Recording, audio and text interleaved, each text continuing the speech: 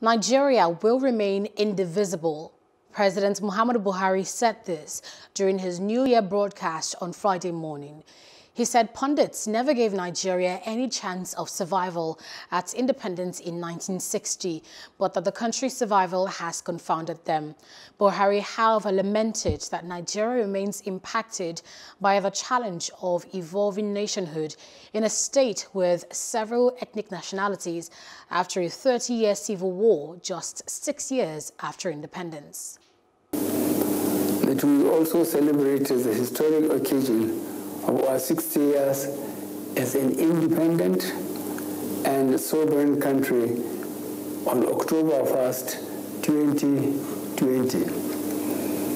In the spirit of hope and gratitude, I would like to remind us again that as a country on the difficult journey to nationhood and greatness, we have confounded the many pundits at home and around the world who never gave the newly born country that emerged into the world stage on the 1st of October 1960 a chance of surviving much longer than a few years. Yet, here we are, 61 years by the next anniversary in October.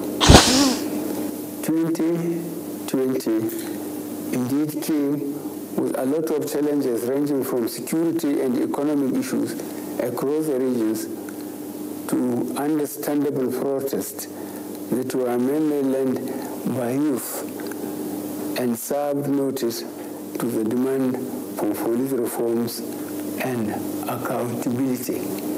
This government heard, this government listened, and this government is committed to fulfilling the five demands of our youth, fully understanding that we all wish well for Nigeria.